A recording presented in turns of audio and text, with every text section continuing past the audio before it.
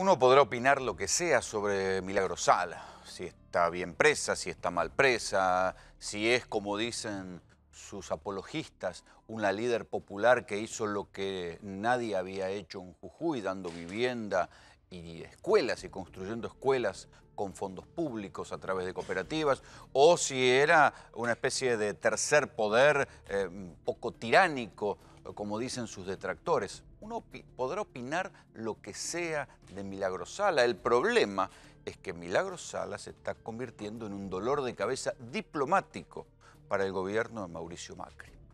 Hoy, la directora de Amnistía Internacional Argentina, Mariela Belsky, hizo lo que suele hacer Amnistía Internacional, es una organización de derechos humanos que se presentó como denunciante ante un comité de Naciones Unidas. Como ustedes saben, ese comité de Naciones Unidas le exigió al gobierno, no es como dice el gobierno que le recomendó y que esto es optativo, no, no, le exigió al gobierno que libere a Milagro Sala para que el juicio que tiene que enfrentar Milagro Sala lo pueda enfrentar en libertad.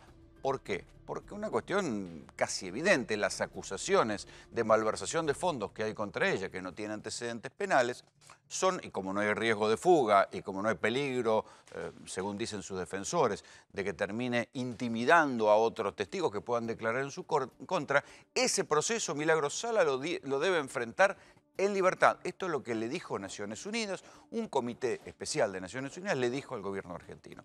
El gobierno argentino lo interpretó a su manera. Dijo que bueno, que no, que no estaban siendo violados los derechos humanos de Milagro Sala. Dijo que eh, el secretario de Derechos Humanos, Claudio Bruch, dijo que bueno, que la eh, recomendación de Naciones Unidas no era vinculante, pero, insisto, Amnistía Internacional hizo lo que hace siempre en estos casos.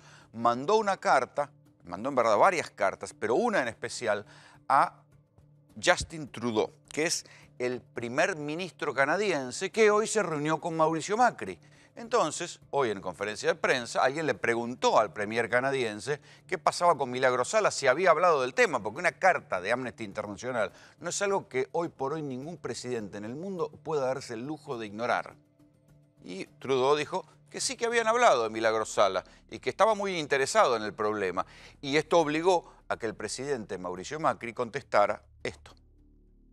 En lo segundo, como informó el primer ministro Trudeau, le, comenté que el viernes vamos a contestar el informe del panel de Naciones Unidas y además le hemos extendido una invitación a que vengan a visitar Jujuy y la Argentina y por sí mismos chequear lo que informa Jujuy, que se están respetando todos los derechos humanos y todas las leyes vigentes en la Argentina.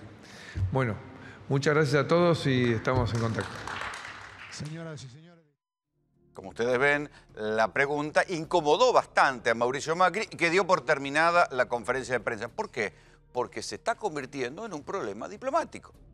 También llegaron cartas de Amnistía Internacional a em, próximos ministros que tienen agendado que se van a encontrar con Macri, primer ministro de Japón, primer ministro de Nueva Zelanda, todos ellos le van a preguntar a Macri por quién, por Milagro Sala, por esa dirigente que es una especie de demonio, de bestia negra para el gobierno de Mauricio Macri y para el gobernador de Jujuy, Gerardo Morales, que pasan los meses, pasan los meses, y las acusaciones contra Milagro Sala, el procesamiento, la elevación a juicio no llega. Se está procesada, la elevación a juicio no llega, y entonces esto es lo que un comité de Naciones Unidas ha considerado que no alcanza para mantener la presa. Y se lo dijo el gobierno argentino. Y ahora está pasando lo que iba a pasar.